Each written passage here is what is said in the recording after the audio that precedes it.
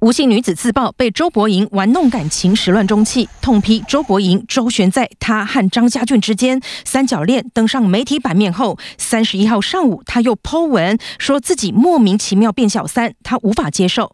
我怎么会是小三？他告诉我他是单身，他说喜欢我，发生关系之后他会跟我交往，我怎么会是小三呢？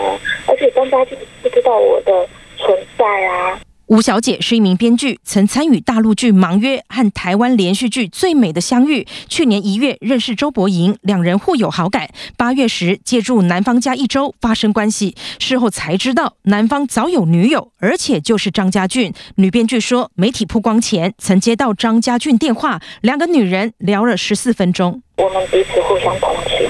张家俊就说，他也不知道为什么。他就是很爱周伯言，呃，他会可能会原谅他吧。我觉得你爱的太卑微了。张家军就是苦笑，他就跟我说：“那你教教我怎么办？” 然后我就觉得说，如果我懂的话，我就不会被周周伯言骗了。他说张家俊爱得很卑微，言谈中想要选择原谅，受访时确实也力挺男友。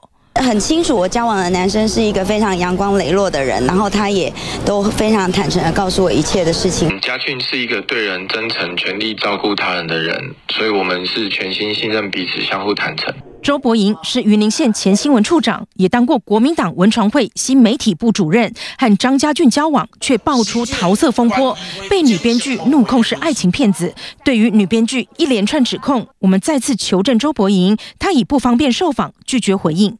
记者综合报道。